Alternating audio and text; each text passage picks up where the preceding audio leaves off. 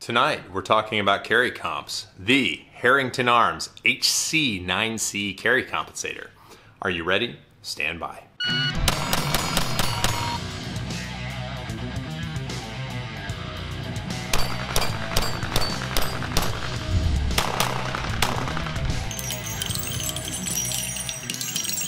So I've already done a video with how carry comps work. You're probably seeing it flash across the top of your screen. And there's a link down in the description that you'll probably ignore. But for brevity's sake, I'll summarize it for you. Carry comps work by redirecting the gas of the ignition of the bullet.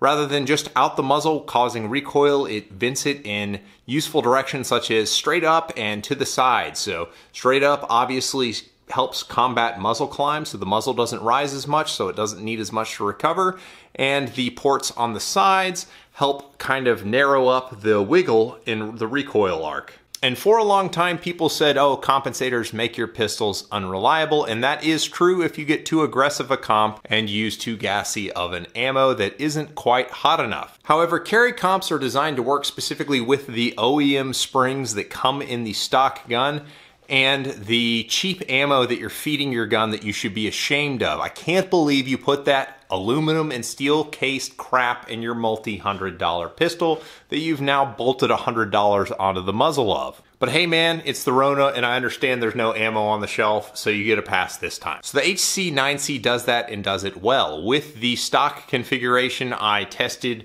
Winchester White Box Wolf steel cased and a bevy of other ammos, including defensive ammos, and the gun ran well. Uh, I will say with some of the lighter 115 grain target loads, brass ejection wasn't as positive, but that's what you'd expect when you have a compensator. You're gonna notice the brass isn't thrown quite as far. Throwing some negatives in there because it would not be a humble marksman review if you didn't get some negative things, because nothing's perfect. So mine actually showed up with a little booger of Cerakote on the threading, and initially when I was threading it onto the pistol, it kind of stopped the compensator from where it actually needed to be seated. But with enough anger...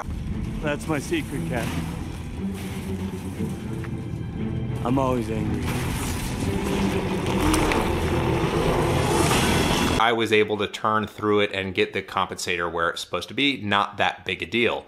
The other side is that because it is Cerakoted, it will take some holster wear. So if you see if I can get this to focus, you can see just a little bit of holster wear from my holster rubbing on the thing.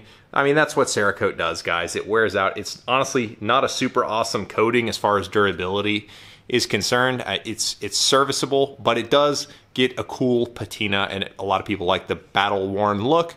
So that's not that big a deal. So some things I do really like about the HC9C, and honestly, I do really like the comp. I think it works well. But first, we need to talk about the sacred relationship between YouTube creator and you, the subscriber.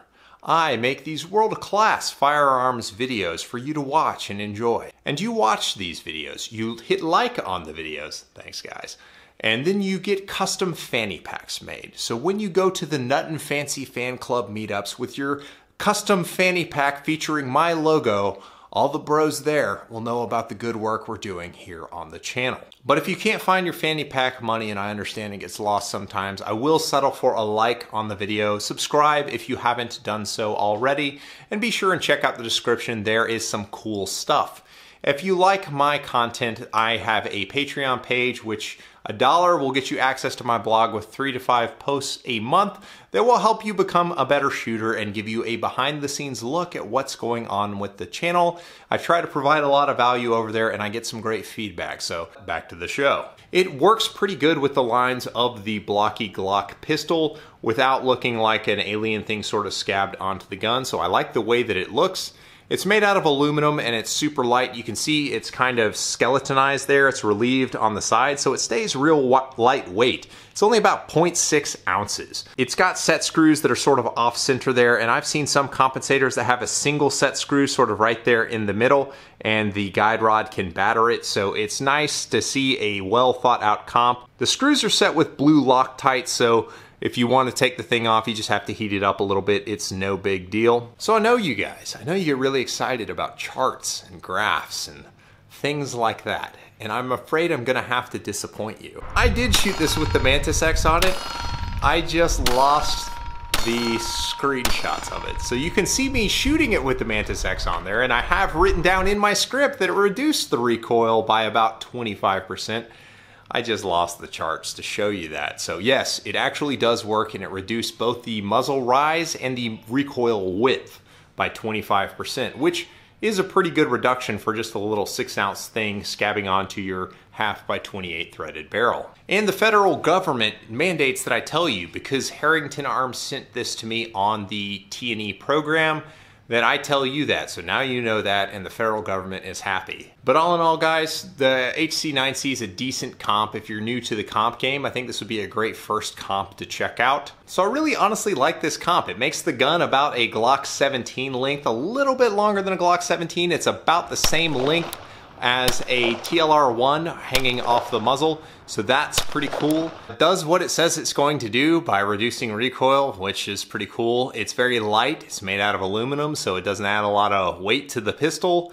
It is cool looking. It increases the aesthetic. If you want to up your flex on Instagram, it certainly helps you do that. It's a good value at about 80 bucks, so that's not bad either. And it makes your gun really loud, so people won't know you're shooting 9mm at the range. They'll think, wow, that guy's shooting a really powerful cartridge, but really it's just compensated pistol. So that's what I got for you guys. I appreciate you watching, and I'll catch you on the next one. Take care, guys.